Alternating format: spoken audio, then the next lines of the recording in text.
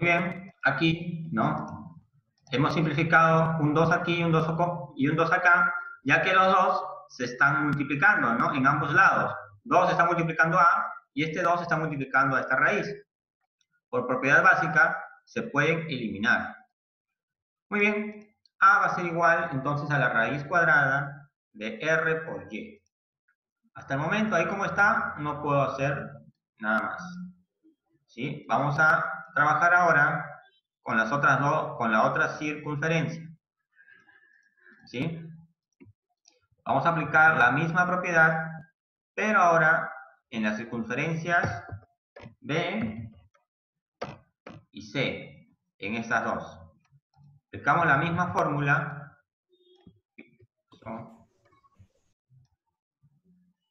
Aplicamos la misma fórmula porque no hay otra.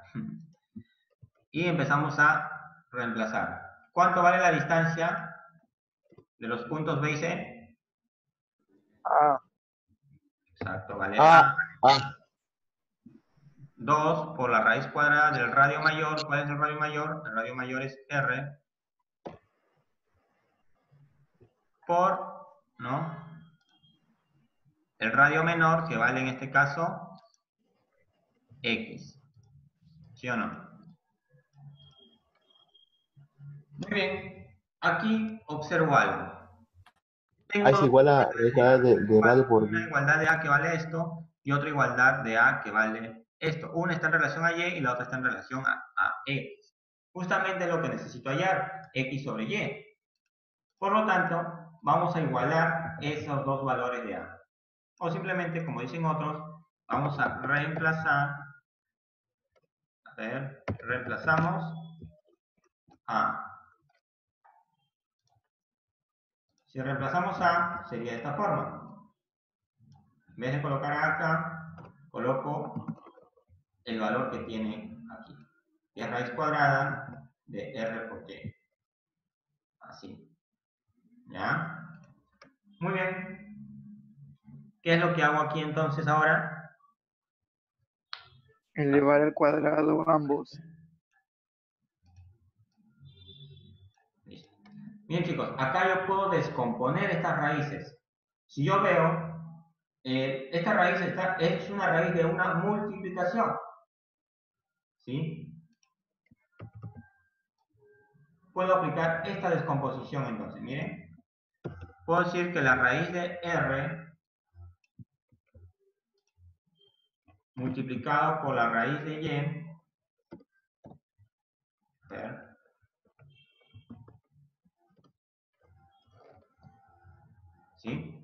Es igual a esto, a la raíz cuadrada de R por Y. Es lo mismo. ¿Sí? Y vamos a hacer lo mismo acá. Vamos a descomponer las dos raíces. Este 2, recuerden que está multiplicando. Sería aquí R por la raíz cuadrada de X. ¿Ven? Esta propiedad se aplica siempre y cuando la raíz sea de una, eh, de una multiplicación o de una división. Ojo, esto no aplica cuando hay suma o resta, chicos. ¿Sí? Muy bien. Tengo esto. ¿Y por qué he hecho esto? Muchos se preguntarán, profe, ¿por qué lo he alargado así? Está extendiendo más el tiempo. Bueno, por algo muy simple. Lo que hicimos aquí con el 2, ¿ven? ¿Qué pasó? Los eliminamos, ¿por qué? Porque el 2 está multiplicando el A y el 2 también la raíz. Eran iguales, chao, se fueron. Y aquí observamos lo mismo. Esta raíz de R está multiplicando al Y, a la raíz de Y, es igual que la otra raíz de R acá, que también se está multiplicando. Por lo tanto, como son iguales, chao. Ojo, no significa que eh, se, hayan vuelto cero, ¿no? Sino que los seis simplificados. O sea, me ha quedado uno aquí y uno aquí. Pasamos a aquí arriba, a ver cuánto me queda. Me va a quedar 1, ¿sí o 1 por raíz de y. Y acá también me va a quedar 1. ¿Sí? Ojo, cuando uno simplifica, el mínimo valor que uno puede eh, reducirlo es 1, chicos. Muchos piensan que al simplificar queda 0, dicen. No, no, no queda 0, queda 1. ¿Sí, chicos? Ahora, ¿qué hago? Simple, chicos. miren, me está pidiendo hallar este, x sobre y. x sobre y. Y miren lo que tengo acá. Tengo raíz de x y acá tengo raíz de y. Esta raíz de y la voy a pasar a este lado. Así, de esta forma. Vamos a insertar una fracción.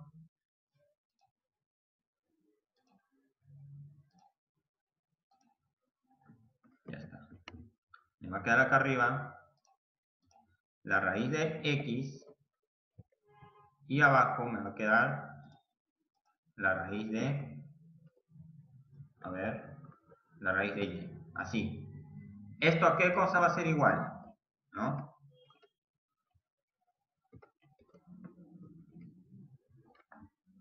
Vamos a andar un poquito más. Ya está. ¿Esto a qué cosa va a ser igual? Este 2, bueno, 2 por 1 es 2, ¿no? Este 2 lo voy a pasar al otro lado dividiendo, chicos. Porque se está multiplicando. Va a pasar dividiendo. Acá sería 1 y abajo sería 2. Un medio. ¿Sí? ¿Lo ven? Le hemos puesto de esta forma. Muy bien. ¿Qué más podemos hacer acá? Vamos a factorizar la raíz en esta fracción. Sería acá, la convertimos en una sola raíz,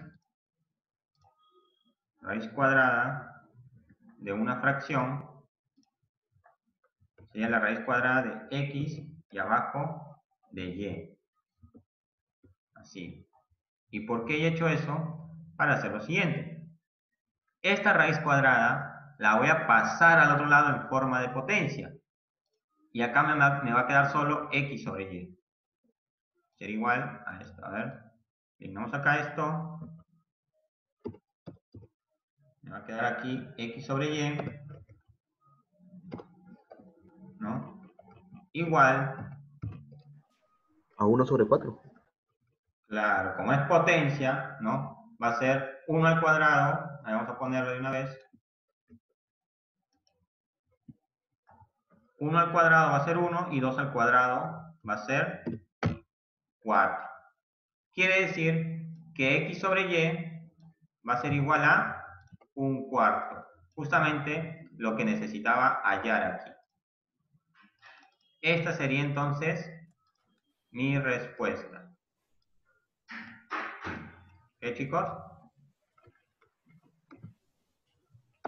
Esa sería mi respuesta. Profe, profe, profe. ¿Qué dijo? ¿Del 4? ¿Por qué, ¿Por qué salió 4? Ah, no escuché eso.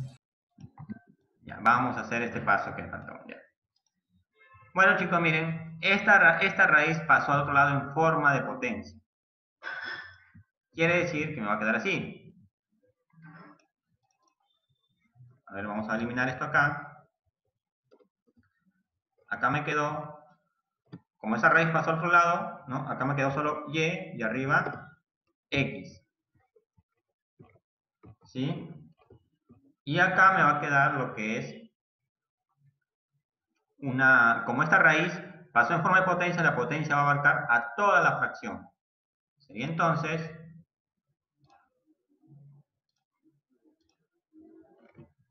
Como es raíz cuadrada, va a ser potencia cuadrada de una fracción, que es de 2 y arriba de 1. Ojo, una fracción siempre va entre paréntesis para especificar que la potencia va a abarcar a toda la fracción. ¿Sí? Muy bien. Y bueno, acá simplemente resuelvo. La potencia de una fracción es la potencia de cada, de cada uno de los lados, ¿no? 1 al cuadrado, 1, y 2 al cuadrado, 4. ¿Sí? Esa sería entonces mi respuesta. ¿Sí, chicos? Ahora sí, ¿entendieron ahí esa parte? Muy bien. Listo, chicos. Esa sería entonces mi respuesta. ¿Vieron cómo trabajé? No importa si haya 3, 4, 5, 5 circunferencias, ¿no? si están sobre una misma recta, puedo aplicar la misma fórmula una y otra vez. ¿Sí, chicos? Para ustedes, le voy a dejar esta pequeña tarea. Está recontra fácil, ¿no? Ya acá habla sobre una de las primeras propiedades que empezamos a ver, no me equivoco, era una de estas, ¿no? Ya ustedes tienen que ver cuál de, estas de estas tres o de estas cuatro puede ser, ¿no? Cuando, cuando estamos hablando de la circunferencia, ¿sí? Revisen bien esas fórmulas y van a ver qué fórmula está. Está recontra fácil, ¿sí? Muy bien, chicos, esa sería su tarea de esta semana. Y por consiguiente, chicos, esa sería nuestra clase de hoy. ¿Sí?